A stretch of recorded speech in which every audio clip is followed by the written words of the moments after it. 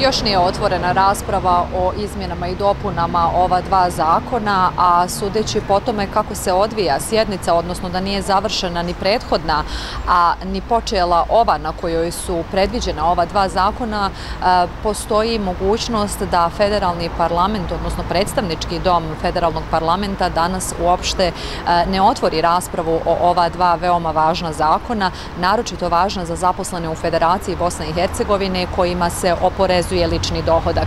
Prema vladinom prijedlogu e, sada bi se oporezivao e, i plata i topli obrok i mjesečna karta i sva zapravo e, primanja zaposlenika, ali bi oporezivi dio počinjao tek nakon 800 maraka. Dakle, do 800 maraka se ništa ne bi oporezivalo, a ako su primanja zaposlenika veća od 800 maraka, onda bi se to oporezivalo po poreznoj stopi od 13%.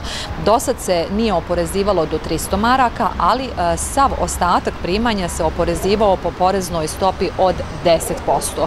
Ono što je zapravo e, zanimljivo za novi prijedlog zakona je svakako to da e, njime nisu zadovoljni ni poslodavci, ni penzioneri, pa čak ni predstavnici udruženja, odnosno sindikata koji okuplja radnike. Razlog njihovog nezadovoljstva je taj što bi zapravo jako mali broj radnika u Bosni i Hercegovini i to oni sa najnižim najnižom platom bili oslobođeni poreza na dohodak, dok bi zapravo sav teret punjenja budžetskih fondova podnosili radnici sa prosječnim platama, a najviše bi zapravo bili oporezovani oni čija su primanja i najvisočija.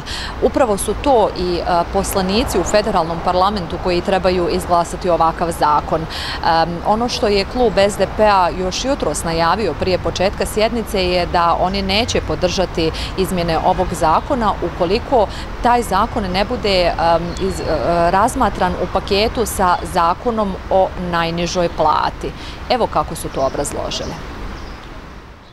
Ovaj zakon koji mi predlažemo mora biti dio seta zakona a set zakona je, prije svega rekao sam, kada idu zakon o doprinosima, porezu na dohodak, mora ići i zakon o minimalnoj plati. Prvi cilj je da radnici zarađuju više, a drugi cilj je e, da poslodavci dobiju potrebno porezno rasterećenje na osnovu kojeg će moći povećati tu platu kao izvršiti dalja upošljavanja investicije. Novi prijedlog vlade o oporezivanju dohodka u Federaciji Bosne i Hercegovine. E, za sada ima podršku poslanika SDA i HDZ-a Bosne i Hercegovine. Vrlo izvjesno je da ga neće podržati poslanici iz SBB-a, a poslanici iz naše stranke su poručili da ovo nije dobar zakon, niti onakav kakav bi bio idealan za radnike, niti e, zakon koji zapravo na pravi način rješava e, poreznu reformu u Federaciji Bosne i Hercegovine, ali svakako ga vide kao pokušaj pokušaj da se u ovoj oblasti uvede više reda i da zapravo radnici sa najnižom platom državi i najmanje vraćaju kroz poreze.